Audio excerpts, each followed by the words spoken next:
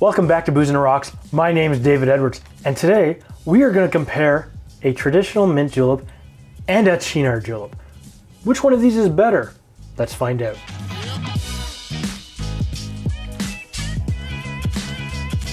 All right, let's get into this. I had two different requests by two different people to create two different juleps. So while I was thinking about this, a friend of mine, his name is Eddie, and he runs the Wired Owl Coffee Company down in downtown Studyberry. He gave me this awesome little julep cup, which is perfect timing because the hamster wheel in the back of my head was saying, David, you should compare both of these juleps. And I said to myself, you know, self, why not? That's a great idea. Now, that duck requested a regular mint julep, and Josh Charette asked for a Cynar julep. Now, I've never had Cynar, so this is a perfect time to introduce myself to it, as well as those of you who may not have had it before. And this should turn, this should turn into an interesting little comparison with two separate, totally different flavors. So let's get into it. The first thing, of course, I need is my shaking glass.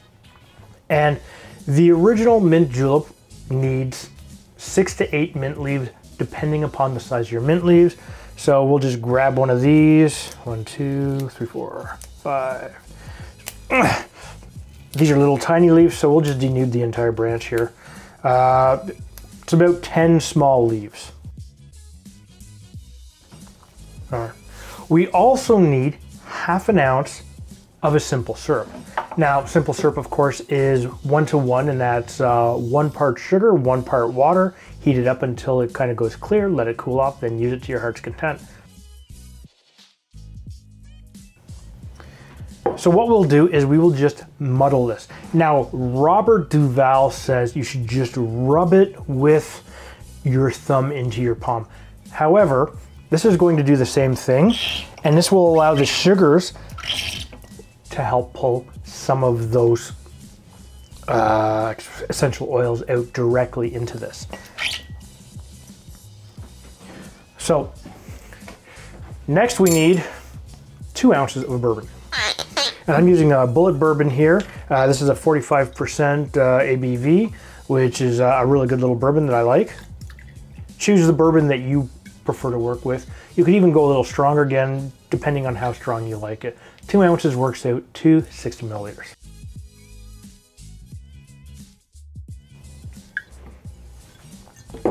Okay, now what I'm going to do is I'm going to shake this. Normally I'd shake, you could shake this with big ice, but I'm going to shake it with a little bit of crushed ice. And the crushed ice isn't really going to pulverize the leaf that badly. It'll add a little bit of dilution.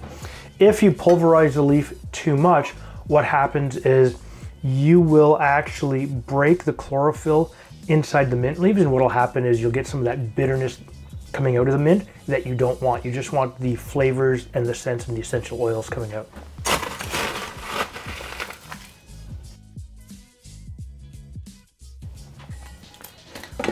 Just enough. Shake it for about 10 seconds. Oops, I nearly lost it there. But that's okay, we'll use this, not a big deal. So what I'm gonna do is I'm going to take out my mint julep cup, which is awesome. We're going to fill it about halfway with ice.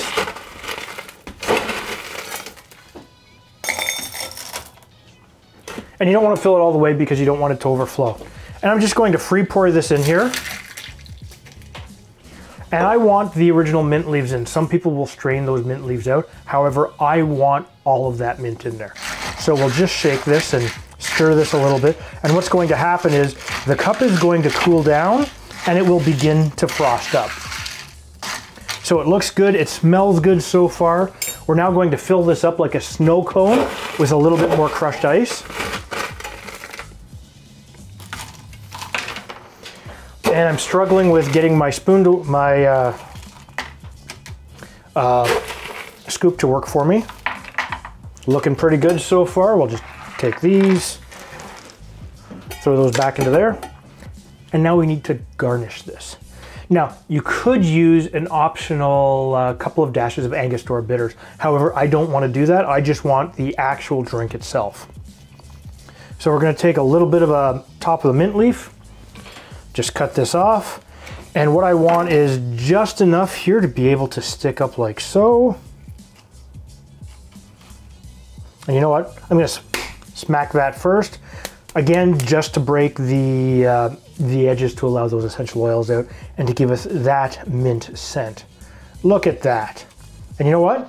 I'm not even gonna touch that right now. We're gonna let that frost up nice and cold. So put these over here. Now we're going to make the Cynar one. Now the Cynar, uh, and I'm following the Cynar julep, and I've seen a couple of different recipes. I'm using the one directly off the bottle. So the first thing we need is half an ounce of lime juice. And when I learn how to use my uh, lime squeezer, I'll let you know.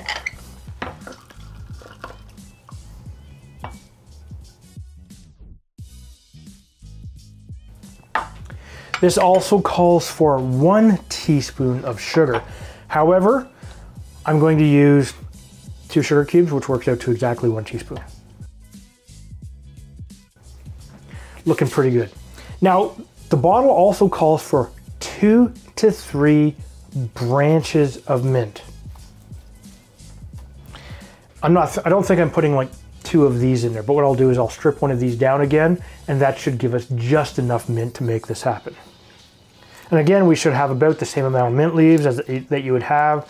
So six to eight solid good sized leaves of mint or maybe 10 small mint leaves, just depending on your preference. Give it a smack, throw that in there like so. Now we need two ounces of Cynar. Now Cynar is uh, made from artichoke and it should have a slightly vegetal uh, taste to it. Smells good. We'll add two ounces, which again is 60 milliliters. Put that here. Again, we'll do the exact same thing. We'll add just a little bit of crushed ice. Just enough, just enough to shake, just enough to shake and chill it. And shake it again for another 10 seconds or so. And this has a different look already, I can tell. Now the unfortunate thing is I only have one julep cup, so what I'm going to use is a rocks glass. So we'll fill this up halfway with ice.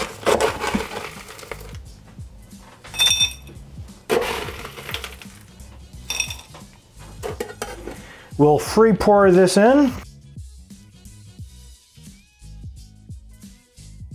Because I want the, all of that mint in there directly. Give this a good stir. And now we'll add some more ice to create another snow cone-like look. Because you know what? These drinks have to be nice, cold, tasty, beautiful. Look at that.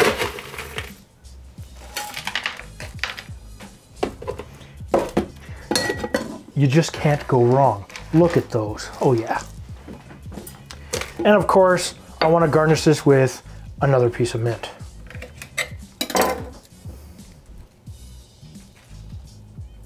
Here we have two different types of julep. We have a mint julep and a Cynar julep. And I've made a mess. Let's get this out of here. Let me know down below which one you think will be better. I know that the classic has been around from the 1770s and the Cynar julep is a much newer cocktail. Let's try these out. And you know what? I need a sippy cylinder. So I'm gonna use a straw. I've got stainless steel straws.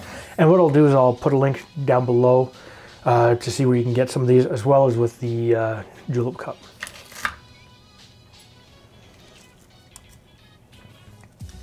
Mmm. Oh, a minty, mm, sweet, fiery bourbon. Oh yeah, oh yeah. Mm. Mm.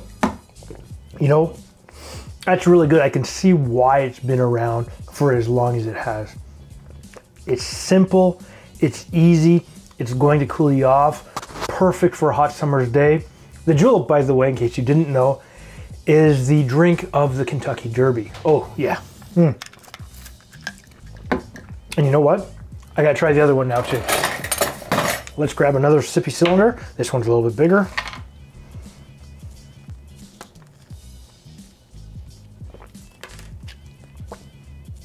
Oh, that's a, a different taste as well.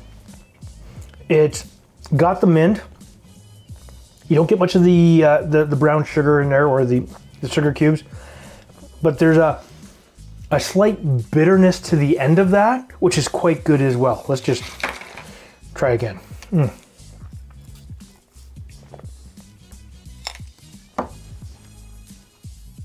It's really good. Mm. Yeah, you know what?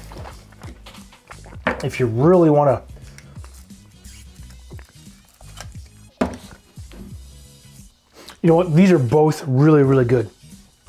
Uh, leave a comment down below and let me tell know which one is your favorite. You know, these are both good in two separate ways. Uh, I really like bourbon. And a sweet minty bourbon, oh yeah. But this, this one has that bitterness. Uh, there's no eggplant taste to it, and I'm not a fan of eggplant, so let's get that out there now. Uh, this is good. Looks good too. You know what? I need, well, ah, what am I to say here? I can't decide. I think I like this one better. Only because of the bourbon. I'm a huge fan of bourbon. So what I'm to do is I'm going to put the ingredients for both of these juleps and their methods of how to make them down in the description down below. If this is your first time to my channel, please hit the subscribe button. Make sure you hit that bell notification. And you know what? Give me a thumbs up for two awesome cocktails. And we'll see you next time.